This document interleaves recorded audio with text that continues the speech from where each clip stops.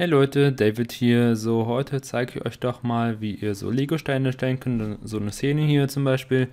Ich zeige euch, wie ihr einzelne Lego-Steine stellen könnt und den Rest könnt ihr selbst kreieren, wie ihr haben wollt. Wenn es euch gefällt, würde ich mich sehr über ein Like freuen. Daumen nach oben, Abo und auf jeden Fall aktiviert die Glocke. Würde mir auf jeden Fall sehr freuen. So, als erstes nehmen wir das 3D-Werkzeug, stellen uns einen Würfel. Den Würfel äh, biegen wir uns ein bisschen zurecht so wie es uns gefällt. Machen wir erstmal den, also Zweierwürfel, wie, wie ihr den kennt. Ähm, ich denke, so ist es okay, ne? Ich denke, so sollte okay sein. Ähm, dann aktivieren wir hier Rundungen. Die Rundungen machen wir auf 4. 1, 2, 3, 4. Wip. Na, 2 nicht, 3, 4. So sollten gut, sollten gut sein. Ähm, jetzt machen wir für die Proportion erstmal uns einen Zylinder, der diese Bubbel darstellen sollte am Ende. Ähm, und zwar ziehen wir es ein bisschen zurecht. Machen wir es ein bisschen kleiner. Ich denke, so ist in Ordnung. Ein bisschen nach oben ziehen, runterziehen. Dann können wir uns die ganze Chose mal kopieren. Also erst der GC und V. So. Ähm, ich denke, so ist das Ganze doch in Ordnung. Dann löschen wir unsere Zylinder wieder. Beziehungsweise, ja, nicht löschen. Machen wir erst der GZ, um die wieder zurückzuholen. Ähm, lassen wir die erstmal, deaktivieren wir den. Das heißt, wir gehen auf die Häkchen, machen die X nicht raus. Dann nehmen wir einen Würfel. Den Würfel duplizieren wir uns, STRG C und V. Und werden das Ganze ein bisschen skalieren. denke, so ist in Ordnung. Ziehen wir das ein bisschen hoch, noch ein bisschen mehr noch. Ein bisschen mehr nach oben. Also ein bisschen größer machen. Ich denke, so ist, sollte das, ja, so ist es doch in Ordnung, denke ich. Dann werden wir das Ganze boolen. Das heißt, wir nehmen uns immer hier unser Bool-Tool. Das heißt, wir schneiden das aus. Das heißt, den Würfel tun wir rein und auch den anderen Würfel. So, voilà. Jetzt werden wir den einen Würfel doch noch ein bisschen runterziehen. Ja, nicht den Würfel, sondern den anderen. Hm, ja, so. So, dann ist es schon ausgehöhlt.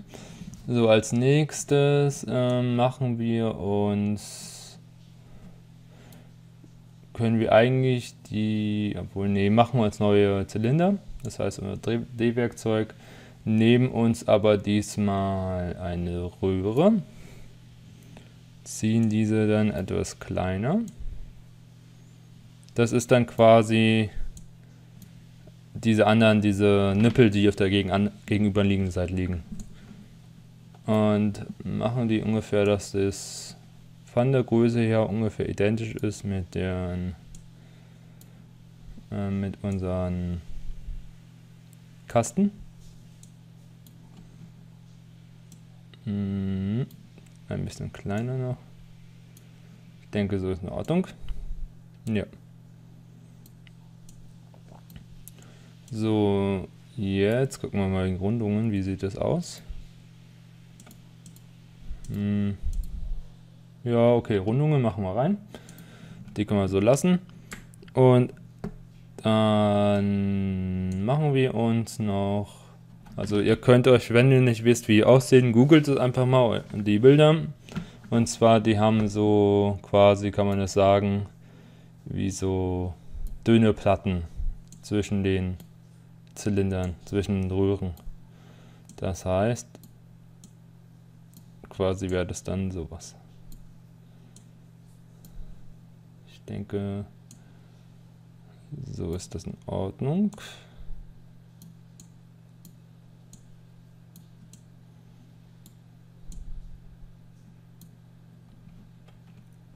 So, dann STRG C und V, das wir zu duplizieren, auf der anderen Seite. Dann die zwei können wir markieren, dann runden wir die auch noch mal ab, Rundungen rein. Nicht so viel, ich denke mal zwei oder so reicht. Oder eins vielleicht schon. Ja, eins ist, ja, eins ist in Ordnung. Ähm, dann werden dann markieren wir uns die, das heißt äh, STRG gedrückt halten und dann jeweils die Würfel aktivieren, jeweils die Würfel anklicken, die wir haben wollen. Das heißt die zwei Würfel und dann die Röhre, STRG C und V und dann ziehen wir es auf die andere Seite. Denke, so ist in Ordnung. So, dann haben wir jeweils an der Seite nochmal so quasi so kleine Stäbchen. Das heißt, machen wir uns auch nochmal ganz fix. Mhm. Die dann allerdings etwas dünner sind. Denke mal, so ist in Ordnung. Nehmen wir, ziehen die auch noch ein bisschen höher. Na, ein bisschen höher. Ich denke mal, so ist das in Ordnung. Müssen wir gucken, dass es auf der anderen Seite natürlich nicht rausschaut alles. Ja. Und da das ja nicht ganz gerade ist sowas, sondern so leicht schräg, machen wir es auch schräg. Denke mal, so ist doch in Ordnung. Gucken wir, dass es nicht ausguckt. Ist okay. Dann das eine kommt hier hin. Dann wieder duplizieren mit C und V. Geht C und V und auf der anderen Seite. Dann die zwei duplizieren. Erster G und V. Und dann auf die andere Seite ziehen. Ein bisschen runter. Und da die ja ein bisschen schräg waren, auf der, auf, die, auf der falschen Seite, drehen wir die ganz kurz noch auf die na, wie war das? Ungefähr so machen wir Ich denke, sowas sollte in Ordnung sein. Ja, nehmen wir. Perfekt. Dann haben wir alles, dann können wir das eigentlich auch alles mal markieren. Und gruppieren wir das mit Alt G, haben eine Gruppe. Und dann können wir die ganze Chose auch umdrehen. Das heißt, wir gehen in unser Rotierwerkzeug, äh, geben hier bei der P-Value, geben wir 180 ein. Voilà, und haben das einmal gedreht. So, jetzt können wir hier auch hingehen und unsere zwei Zylinder wieder aktivieren. Wo auch immer die sind. Achso, weil die sind auch, auch gedreht worden. Naja, gut. Hm, ungefähr so ist es in Ordnung. Ja, Okay, machen wir so. Ähm, könnt ihr ein bisschen spielen mit der ganzen Proportion, wie das denn genau passen würde für euch. Ich denke, das ist erstmal okay so. Dann wollen wir hier auch Rundungen reinmachen. Das heißt, wir beide äh, markieren wir und gehen auf, na, wo haben wir es? Bei Deckflächen auf Rundungen. Machen nicht so sehr Rundungen, upsala, sondern, ja, ich würde sagen auch so um die 4. Müsst ihr gucken, wie es aussieht. So, dann machen wir uns einen Text. Äh, Mogra bei MoGraph ein Text, MoText. Dann ne, drehen wir den. Das ist auch bei der P-Value, aber um 90, damit er aufliegt. Beziehungsweise eher um 9, minus 90. Minus 90. Und skalieren das das ist quasi der Text, der auf den drauf liegt. So, ein bisschen größer.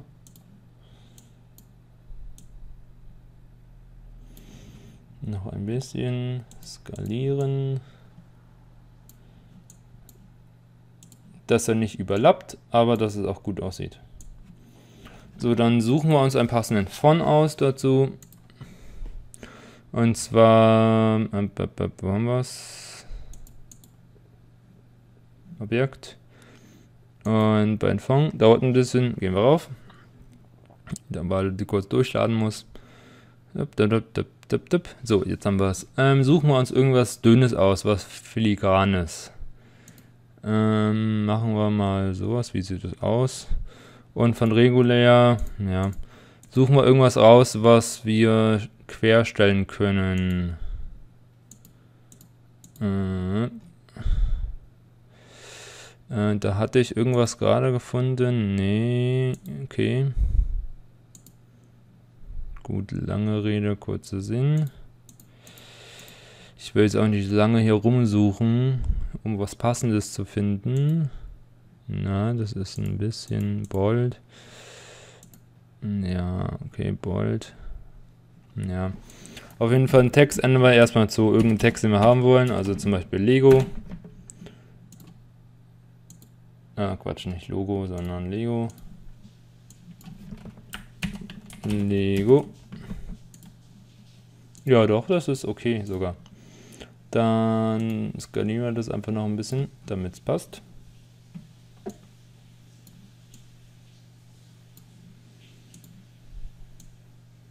Dann mittlere Maustaste, oben Perspektive, damit ihr sehen könnt, ob es in der Mitte liegt.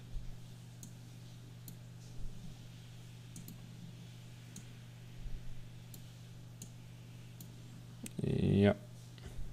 So. Mittlere Maustaste und wieder in die Perspektive rein. Dann können wir das auch duplizieren. V. Und voilà. Ja, das ist okay. Ich glaube ein bisschen zu fett, aber sehr wurscht. So, dann packen wir die zwei Texte natürlich auch nochmal rein in den einfach nur reinziehen, Drag and Drop.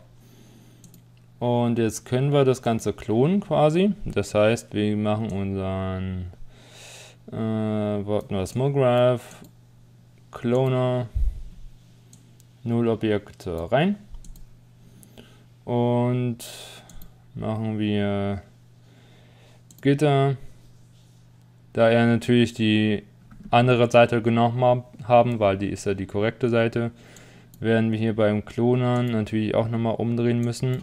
Und zwar auf 180 Grad. Also machen wir die erste Stufe weg, das heißt die oberste Stufe. Und dann ziehen wir das einfach mal ein bisschen weiter, zoomen ein bisschen weiter raus. Und die Größe, dann schieben wir uns das zurecht, so wie wir das haben wollen. Ich denke mal so ungefähr von der Länge und dann vielleicht, ja, machen wir es ein bisschen größer, unser Gebiet. So, so. Und dann erhöhen wir die Anzahlen, bis es uns passt. Na, das ist so viele. Sowas ist okay. Und dann hier nochmal die Anzahlen. Könnte dann für euch, für euren PC ein bisschen aufwendig werden, aber müsst ein bisschen Geduld haben. Oder eventuell die Anzahl ein bisschen verringern. Ja. So ist das Ganze doch okay. Sehr schön, wunderbar. Ja, das ist doch, passt doch gut. So, jetzt können wir uns zum Beispiel mal einen Boden machen damit das Ganze natürlich auch einen Boden hat. Ähm, rechte Ma ähm, Maustaste, mit der in die Perspektiven kommt. Jetzt müsst ihr ein bisschen warten, weil die ganze Chose muss natürlich auch das laden erstmal. Ich hoffe, er stürzt es mir nicht ab. Ne, das ist schon mal gut. Okay. Und ziehen. Quatsch. Ziehen den Boden, den wir hier haben ähm, runter.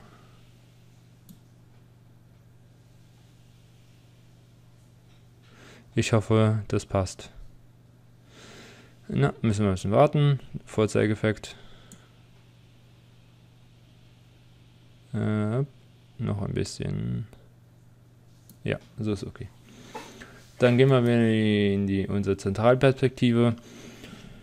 Können uns jetzt beispielsweise unser Nullobjekt, was wir haben, ähm, klonen. Das heißt, wir haben uns unser Lego-Steinchen, haben wir jetzt ein einzelnes. Das drehen wir natürlich nochmal um. Und zwar 0. Ich hoffe, das ist korrekt. Oder auch nicht. Oder dauert einfach lange. Dann machen wir das 180. Äh, 180. So. Und dann Mittelmaustaste.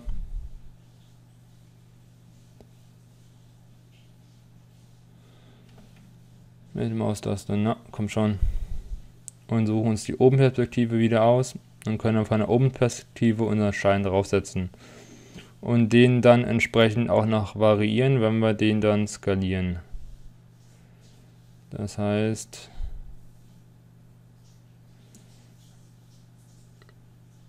wenn ich den gefunden habe, da ist er. Das heißt hier drauf.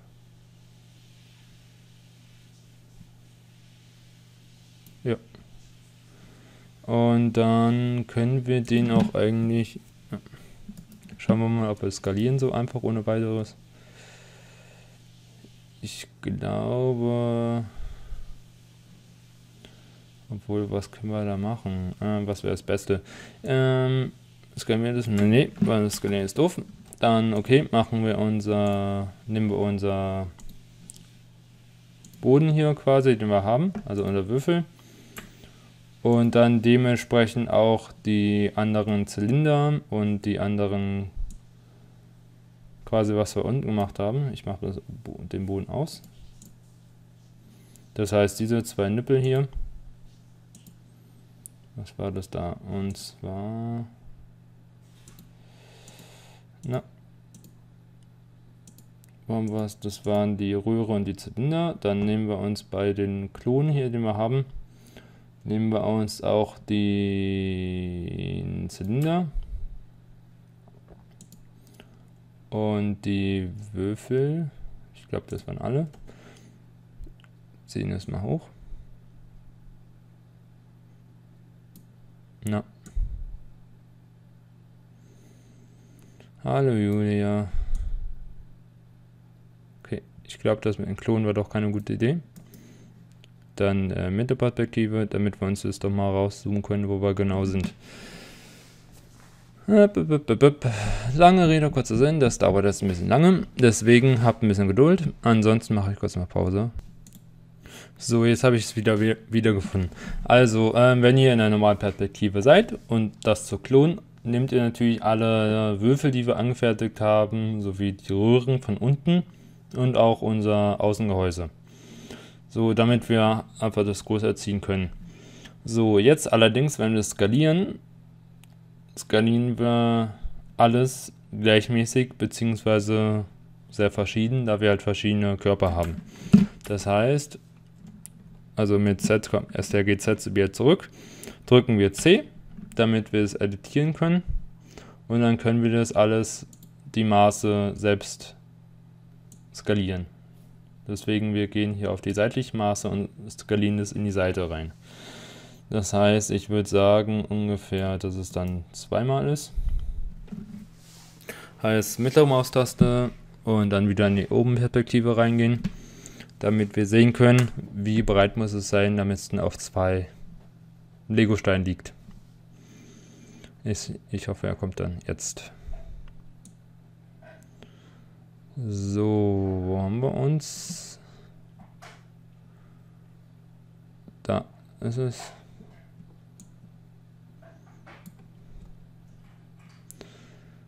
Gehen wir ein bisschen runter und da sehen wir, okay, gut. Nicht ganz, wir können uns das aber, wenn wir den Körper generell noch verschieben. Na, haben wir es. Das heißt, wir nehmen in dem Fall die Würfel dazu. Obwohl nehmen wir uns das Nullobjekt dazu. Dann, dann verschieben wir das auf die 2. Wunderbar, passt genau. Dann nehmen wir den Text, den Text und unsere Zylinder und ziehen die dann an die Seite. C und V und auf die andere Seite. Somit haben wir dann Vierer Würfel, also ein Vierer Stein. Dann platzieren wir das natürlich noch alles unten, nach unten. Das heißt, markieren wir uns wieder, tun in den, das Null-Objekt rein. 0 markieren wir uns und ziehen das nach unten. So, dass es sauber aufliegt auf dem Stein. Ja, ich sehe gerade, müssen wir doch ein bisschen breiter machen alles. Ist aber kein Problem.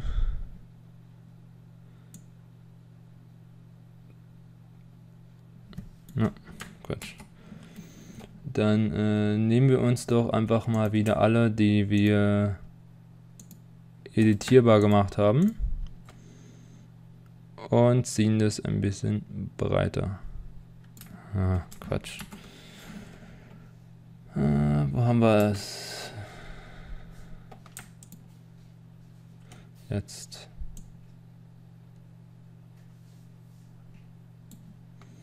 Und wieder nach unten. So, also da bin ich wieder. Und ziehen das noch ein bisschen runter. Ich denke, so ist das alles. Sollte das okay sein. Unser Würfel nehmen, ist äh, Zylinder und etwas nach unten. So. Na. Unser Nullobjekt nehmen wir es einfach und ziehen das Ganze nach unten. So. Okay, lassen wir es so. Scheiß drauf. Ihr könnt es noch variieren. Dann machen wir das Textur jetzt nochmal und zwar zu guter Letzt. Äh, um, nehmen wir uns quasi unser, was wir haben, Ball. Äh, nehmen wir erstmal schwarz. Schwarz finde ich ganz cool. Ihr könnt natürlich wählen, was ihr haben wollt. Gehen wir bei Reflexion, gehen wir hinzufügen, machen uns irgendeinen Shader, machen da, damit es halt so ein, sage ich mal, ähm, na, raues Schwarzes. Nehmen wir uns einen Fresnel Shader. Wo haben wir das? Fresnel. Und machen allerdings die Helligkeit sage ich mal so, auf, ja, gucken wir mal 10 und die Mischstärke auch so um die 10 rum. Schauen wir mal, wie es aussieht. Ähm, dann packen wir das erstmal auf unseren Kloner. Damit alles natürlich schwarz wird. Und machen uns einen neuen Shader. Und machen diesen können wir jetzt mal rot machen, das heißt Farbe machen wir rot, knallrot. Und bei der Reflexion machen wir auch wieder irgendeinen Shader rein. Und dann machen wir allerdings nur die Helligkeit ein bisschen, na, obwohl doch die Helligkeit ein bisschen runter. Das heißt, dass es kaum noch spiegelt, aber ein bisschen. Also auf 5. Und ziehen den dann oben auf unseren, unser Nullobjekt. Voila. So.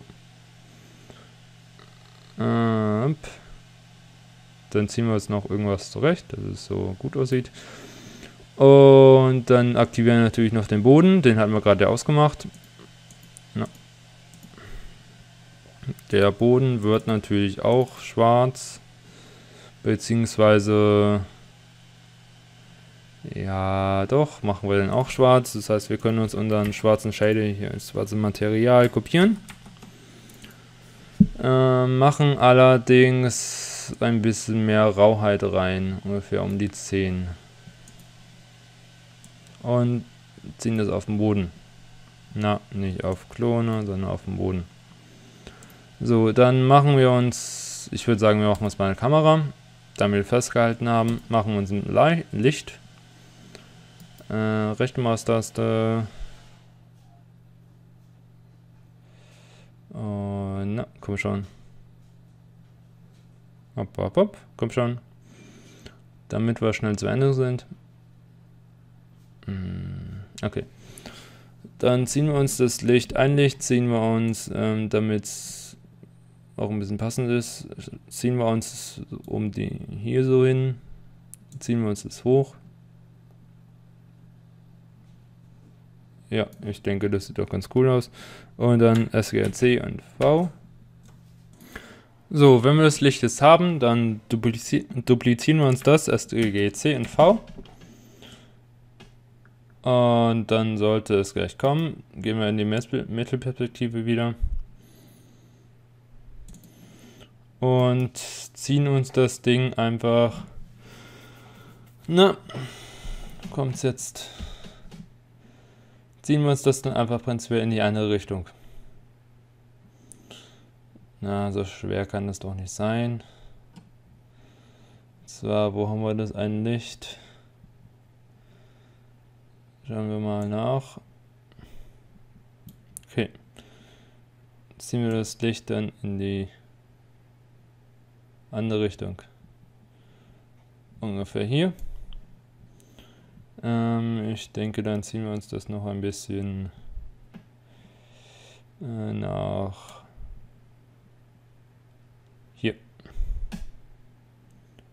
denke, das ist so okay. So, dann schauen wir doch mal, wie es aussieht. Das heißt, wir gehen in die Renner-Voreinstellungen, machen natürlich alles wie an, Global Animation, Ambient Occlusion. Hm, haben wir Global Animation.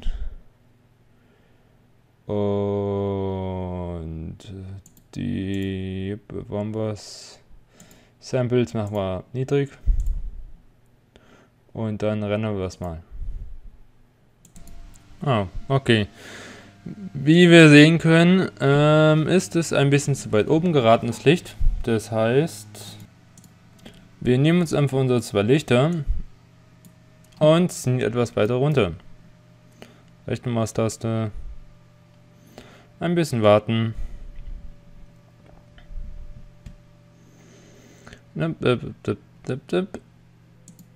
Und ziehen es einfach runter.